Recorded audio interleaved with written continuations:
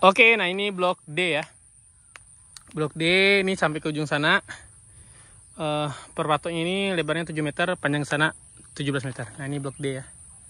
Sebenarnya blok D ini tuh lebih dekat ke rumah tuh. Kalau bisa dilihat ya di zoom, tuh ada seng rumah orang ya. Kalau di sana juga ada tuh rumah orang. Jadi pas ya. Dekat banget sih sebenarnya kalau misal bagian belakang nih.